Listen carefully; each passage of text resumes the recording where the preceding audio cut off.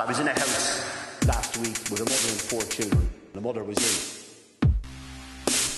The eldest daughter was 14 years of age. And she was making dinner.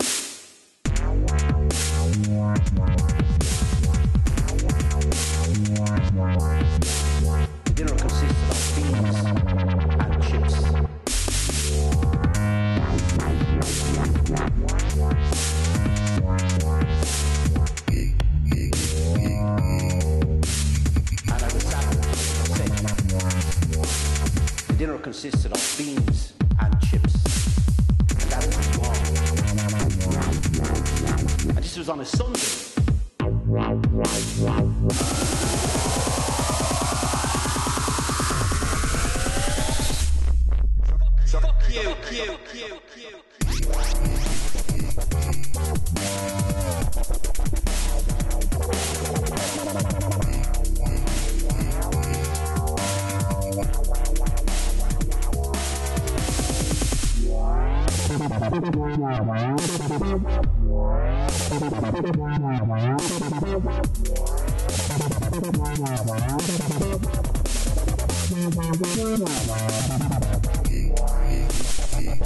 consistent on.